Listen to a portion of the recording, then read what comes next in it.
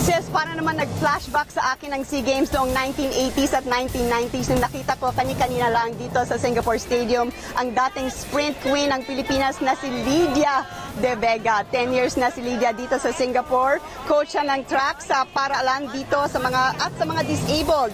Proud si Lydia sa mga tagumpay ng ating mga track and field athletes dito sa SEA Games. Naalala niya ang kanyang huling gold medal sa SEA Games dito sa Singapore. Rin ako naglaro.